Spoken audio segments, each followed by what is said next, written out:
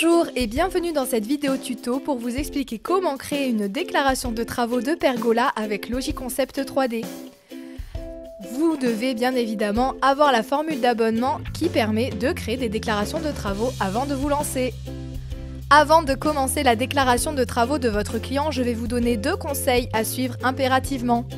Avant de démarrer toute déclaration, commencez par prendre contact avec la mairie où sera installée la pergola afin de bien comprendre les exigences de cette dernière. Cela vous aidera à répondre précisément à leurs demandes et à éviter une DP à modifier. Pour vos démarches dans la partie déclaration de travaux, Logiconcept 3D se base sur la pergola que vous avez créée en 3D ou en réalité augmentée. Donc avant de vous lancer dans la déclaration de travaux, vérifiez bien les dimensions de la pergola et le résultat en réalité augmentée, puisque ce résultat va être repris dans la partie insertion paysagère. Maintenant que vous connaissez ces deux bases, on peut se lancer. Pour cela, rendez-vous dans la partie DP. Vous vous rendez alors sur la page de création. Il est possible de réaliser des déclarations de travaux, des déclarations d'ouverture ou d'achèvement de chantier. Dans cette vidéo, nous allons nous intéresser à la déclaration préalable de travaux. Donc on sélectionne le bouton Déclaration préalable de travaux, puis on appuie sur Suivant. Sélectionnez ensuite Pergola. Si vous avez mis une piscine dans votre projet en réalité augmentée, vous verrez aussi apparaître le bouton Piscine. Cliquez sur Suivant. Sélectionnez ensuite la proposition en réalité augmentée sur laquelle vous souhaitez faire la déclaration. Si vous n'avez fait qu'une proposition, une seule apparaîtra dans la liste. Cliquez ensuite sur Suivant. Ensuite, nous allons renseigner les informations du déclarant. Vous avez le choix entre personne physique et personne morale. Pour les besoins de la vidéo, nous avons déjà rempli les champs. Une croix rouge apparaît sur les lignes qui ne sont pas renseignées. Ne pas remplir toutes les informations ne vous bloquera pas pour aller à l'étape suivante. Cliquez sur Créer. Dans cette partie, vous trouverez les informations sur l'avancée de votre dossier. Vous pouvez modifier chaque partie en passant par les boutons Modifier ou en cliquant sur les catégories sur la gauche. Nous allons suivre l'ordre défini sur la gauche afin de remplir notre déclaration. Tout d'abord, la partie Chantier. Renseignez les informations demandées, les informations déclarant ont été précédemment remplies, donc passons désormais aux annexes. Dans cette partie, vous pouvez générer les annexes dites obligatoires. Pour cela, cliquez sur Commencer. Vous voyez apparaître chaque type d'annexe que vous pouvez personnaliser.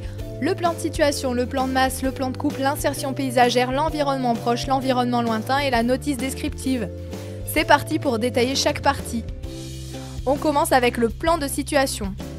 Pour le créer, vous avez trois choix possibles. Importer depuis Google Maps, importer une image présente sur votre ordinateur et importer depuis Géoportail. Nous utiliserons ici l'import depuis Google Maps. Cliquez sur Importer depuis Google Maps. L'adresse du déclarant était déjà renseignée, donc le logiciel géolocalise automatiquement l'adresse via Google Maps. Sur la fenêtre qui s'affiche, vous faites vos manipulations comme si vous étiez sur Google Maps. Donc vous pouvez zoomer grâce à la molette de votre souris, réduire la taille du cercle rouge en bougeant un des points présents sur le cercle, ou encore déplacer le point principal de localisation. Une fois que la vue vous satisfait, cliquez sur Capturer l'image. Une fois l'image capturée, vous pouvez encore modifier votre plan de situation ou passer à l'étape suivante en cliquant sur la flèche en bas de l'écran.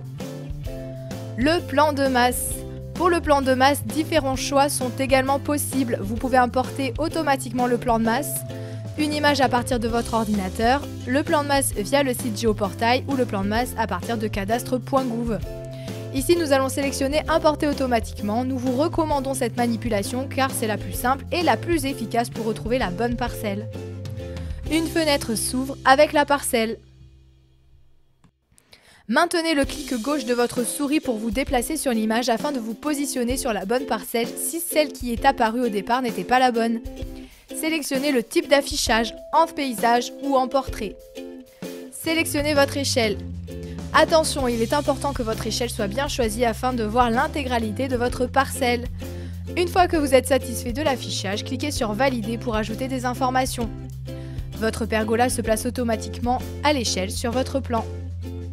Avant de démarrer la personnalisation du plan de masse, si vous avez besoin de faire plusieurs plans de masse, si votre mairie vous le demande, sachez que vous pouvez en créer plusieurs exemplaires. Pour cela, cliquez sur plus situé au-dessus de votre plan. C'est très utile pour les mairies qui demandent un plan de masse avant et un plan de masse après construction et installation de la pergola. Revenons aux possibilités de personnalisation du plan de masse. Cliquez sur la pergola, un point jaune apparaît. Maintenez le clic afin de déplacer la pergola. Il est également possible de faire une rotation de l'objet afin de le mettre dans le sens que vous souhaitez. Une fois votre pergola placée, cliquez sur votre plan afin de faire apparaître les éléments à ajouter qui vont vous permettre de personnaliser le plan de masse. Il est possible de réaliser différentes modifications en faisant un glisser-déposer de l'élément souhaité. Vous pouvez faire des mesures avec l'outil cotation, créer une zone avec le polyline coloré, créer une zone remplie grâce au polygone plein, créer une zone assurée grâce au polygone assuré qui va vous donner notamment des informations de métrage et ajouter du texte. Ensuite, d'autres éléments de type objet peuvent également être ajoutés, tels qu'une caméra afin de donner l'indication de prise de photo par exemple, un arbre, une place de parking et la boussole. Ou encore des éléments représentatifs comme un triangle, un cercle ou un carré. Tous les objets ou outils placés sur le plan peuvent être modifiés ou supprimés. En cliquant sur l'objet, ces paramètres s'affichent sur la gauche. Chaque outil ajouté peut être modifié en termes de position, couleur ou taille. Il est possible également d'importer une autre image si besoin, de modifier l'échelle ou encore d'importer les limites de terrain. Ce dernier est un élément intéressant si votre terrain complet possède plusieurs parcelles. Cliquez alors sur Importer limite de terrain, les parcelles adjacentes de votre parcelle apparaissent. Allons donc sélectionner ces dernières sur la gauche. Un trait qui entoure les deux parcelles s'affiche. Vous pouvez modifier l'épaisseur et la couleur du trait. Une fois votre plan de masse terminé, cliquez sur la flèche en bas afin de passer à l'étape suivante. On passe maintenant au plan de coupe. Il est possible de réaliser le plan de coupe automatiquement ou d'importer une image depuis votre ordinateur. Ici, nous allons sélectionner Créer automatiquement. Une fenêtre s'ouvre pour vous permettre de modifier quelques paramètres, sur une vue longitudinale mais aussi sur la vue transversale. Il est possible d'ajouter des éléments sur les mêmes principes que le plan de masse, les cotations, polylignes, polygones ou d'autres éléments physiques. Ici, il est également possible de positionner des façades de maisons dessinées. Ensuite, dans les paramètres, il est possible de désactiver l'échelle normalisée, de ne pas afficher le terrain naturel pour modifier la forme du terrain en cas de terrain en pente par exemple, ne pas afficher la coupe longitudinale ou transversale. Pour l'insertion paysagère, vous trouverez ici l'intégralité des images du projet créé en réalité augmentée. Il est possible de désélectionner certaines photos si vous ne souhaitez pas euh, faire apparaître une photo sur la déclaration. Si vous observez une, modification à faire sur une vue, retournez dans la partie conception qui vous permettra de modifier votre projet. Une fois que vous êtes satisfait de votre sélection, passez à l'étape suivante. Pour l'environnement proche, il est possible également d'importer via Google Maps ou via une image. Ici, nous utiliserons à nouveau Google Maps. Une fois la vue satellite affichée, utilisez Street View en faisant un glisser-déposer du bonhomme jaune à gauche et placez-le sur votre terrain. Placez-vous afin de voir la façade de la maison si possible, puis cliquez sur Capturer l'image. Il est possible que dans certaines zones, Street View ne soit pas disponible. Nous vous conseillons alors de prendre une photo lors de votre visite à votre client et d'utiliser la fonction Importer une photo. Ou alors votre client peut vous envoyer la photo qu'il faut. Passons à l'étape suivante qui est l'environnement lointain. Il est possible d'importer depuis Google Maps ou d'importer une image. Ici, nous allons le faire par Google Maps. Dans cette partie, le principe est le même que sur le plan de situation. Il est important d'afficher le nom des rues pour les mairies. Pour cela, passez simplement votre souris sur satellite et cochez la case légende. Sinon, il est possible de cliquer sur plan afin d'avoir une vue différente. Les noms des rues apparaîtront aussi. Une fois le plan satisfaisant, cliquez sur capturer l'image. Ensuite, cliquez sur la flèche en bas pour passer à l'étape suivante. L'étape suivante, c'est la notice descriptive. Plusieurs informations sont demandées, ce sont des informations facultatives, mais nous vous conseillons d'y répondre. Il est possible de définir la réponse par défaut afin que cette dernière soit automatiquement inscrite sur vos prochaines déclarations.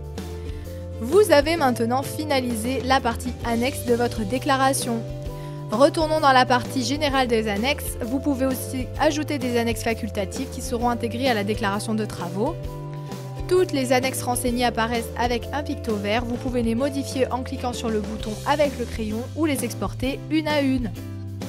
Pour générer un ou plusieurs exports PDF, vous pouvez aussi retourner dans la partie Export. Cliquez sur Générer le PDF. Vous pouvez sélectionner tous vos éléments prêts pour l'export, sélectionner un par un les éléments, modifier le nombre d'exemplaires pour chaque partie et enfin générer la déclaration finale en format PDF. Cette dernière peut être sur un seul PDF ou décomposée en un PDF par document, ce qui est plus pratique pour les mairies qui reçoivent les déclarations de façon dématérialisée via un site qui vous propose d'intégrer votre DT partie par partie. Et voilà pour cette vidéo sur la déclaration de travaux de Pergola avec Logiconcept 3D. Comme d'habitude, on est dispo si vous avez des questions et je vous dis à très bientôt dans une prochaine vidéo.